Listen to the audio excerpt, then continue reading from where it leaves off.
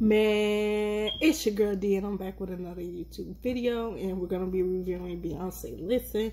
Now, I heard this version, but I just wanted to, you know, hear it again and stuff like that. So, um, yeah. Make sure you show your decent love, hit that like button, and subscribe, and peace. Let's get it. Listen to the song here in my heart, I start but can't complete. Listen to the sound from deep within. It's only beginning to find release. Oh, the time has come for my dreams to be heard. They pushed aside or turned into your own. All cause you won't listen.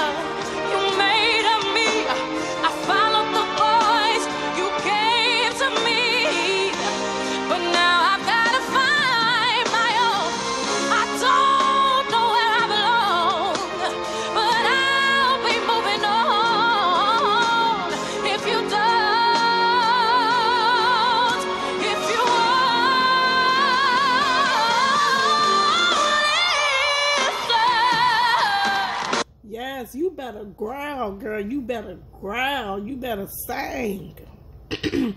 man, I'm just so pumped every time I hear this version. Like, man, like she sung the the hell out this song for real, for real. And if some people don't know, this song is from the movie uh, Dreamgirls, which is featuring Beyonce, uh, Jennifer Hudson, and I think her name is Anita. I, I don't want to uh, get it wrong. And um, somebody else that's an uh, actress too. I forgot her name, but um, and Jamie Foxx and Eddie Murphy. You know, so uh, if people wondering where this song came from, it came from that movie Dream, Girls. So um, Dream, so the movie Dreamgirls is is really a spinoff of Dream Girls the play, which is um, expired.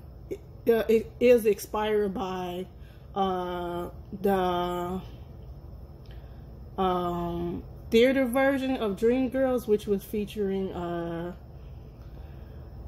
Jennifer Holliday. She's uh, she's the girl that uh, made the original song that uh, Jennifer Hudson sung in the movie. I am telling you, uh, I uh, I am.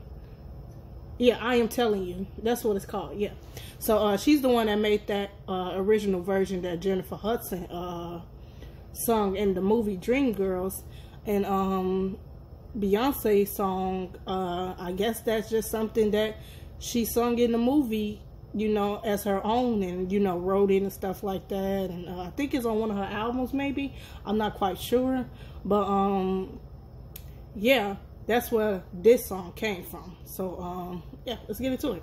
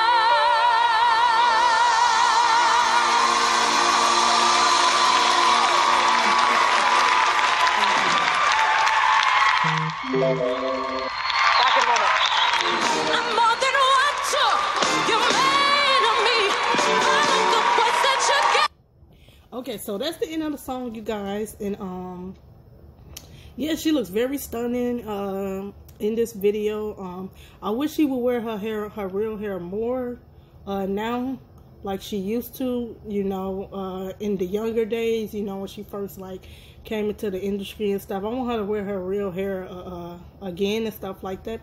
She looks stunning in this performance. Uh, I like the dress that she wore, uh, the lipstick, the uh, earrings and stuff. Just very uh, classic, chic look. You know, not too much going on, but just a natural look too. You know, at the same time, and I could tell that Jamie Foxx was blown away because he started kind of like rolling his eyes or whatever was like was like whoa like you know beyonce is the real deal type right? So um yeah uh oprah winfrey she was blown away too you know? And just to have the cast there that was you know to support her and stuff like that that was um really good too you know uh to see that. And then you know how the audience was cheering for her and stuff like that. So just all the love in the room that day, you know, when she performed that song, it was just, you know, really amazing to, you know, see. And um yeah, I heard this like the best version of uh Listen.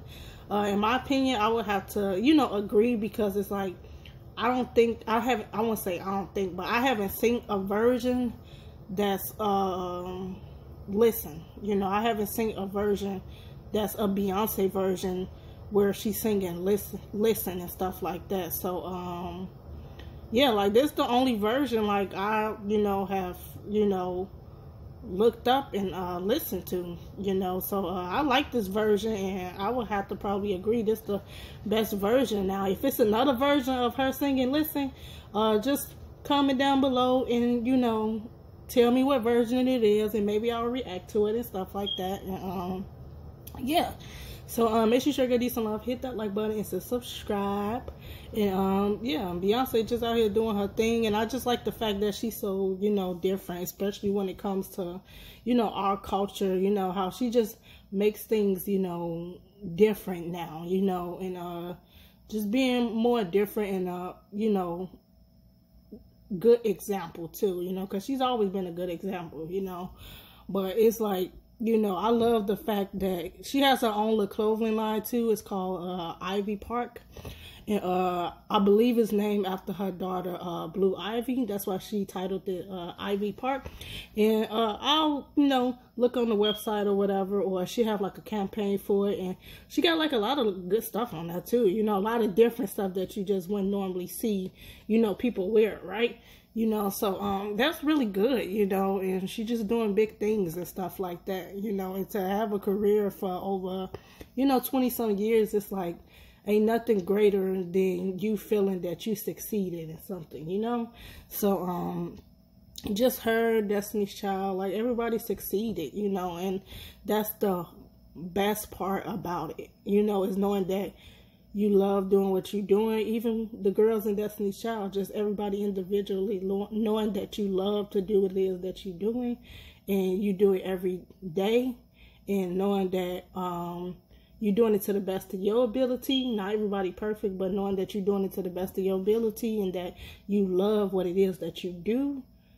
Can't nobody, you know, take that away from you, you know, because you got people out here right now today that don't even like to be famous, don't even like to, you know, be a singer or a rapper and they famous and stuff like that. And it's like you got a lot of talent out here of people who always wanted that, you know, who always wanted to sing, who always wanted to rap and, you know, do all these different things and it's like they not heard, you know. So it's like uh a lot of people who is famous or anything, they take the fame they take it for granted because it's like you sit here and got all these people you know cheering for you and stuff like that. And it's like you don't like it or you know you may not want it you know. And everybody not built for uh the industry. Everybody not built for that you know. So i understand that part too you know. And um i'm just so proud of her you know that she's had a successful career as a solo artist and being in a group you know just as well as the other girls in Destiny's Child. So um, I like this performance. It was really good. It was nothing bad about it, and uh, I watch it over and over again. You know, so um, yeah. Make sure you check out these salon, hit that like button, and subscribe, and yeah, we out. Peace.